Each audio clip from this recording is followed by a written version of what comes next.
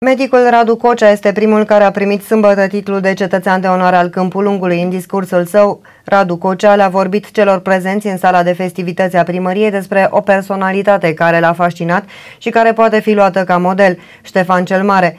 Domnitorul român fiind personajul principal al cărții Patimile, după Ștefan scris împreună cu fratele său Alexandru Cocea pentru activitatea din domeniul medical, dar mai ales pentru cercetările care au ca rezultat descoperirea remediilor pentru multe boli grave, medicul Constantin Băcanu a primit de asemenea titlul de cetățean de onoare.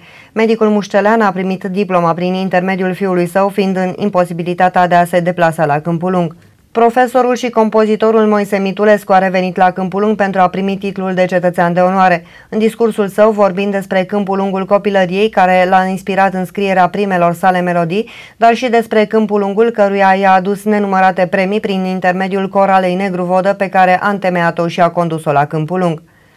Scriitorul și profesorul Adrian Săvoiu este cel de-al patrulea proaspăt cetățean de onoare al municipiului. Îndrăgostit profund de orașul natal și mai ales de istoria lui, Adrian Săvoiu a reușit să găsească și să scoată din arhive pagini scrise sau ilustrate care vorbesc despre prima capitală a țării românești.